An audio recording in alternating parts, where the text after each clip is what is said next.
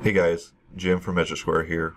Welcome to part 5 of the takeoff tutorials and the Getting Started series for Measure Square 8.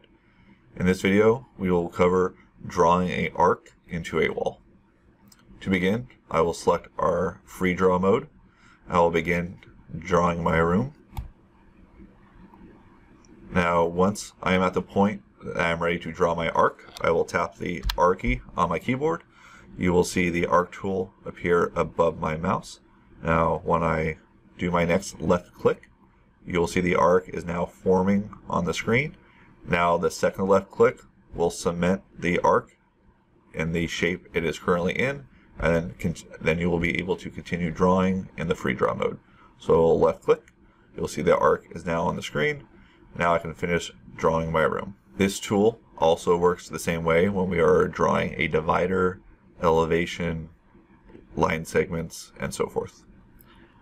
Now if we already have an object drawn and we need to add a curve or arc to it, we will use our set arc tool to do so. So I will draw a divider line right here. And I'm also going to draw a hole and I will show you how to adjust each of these shapes using our set arc tool. So I'll insert a hole here as well.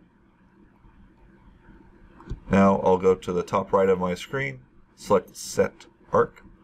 You'll see an arc on the mouse again.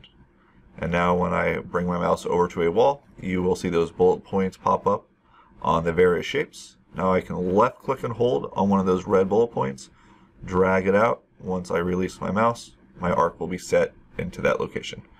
Same thing will work for this divider line.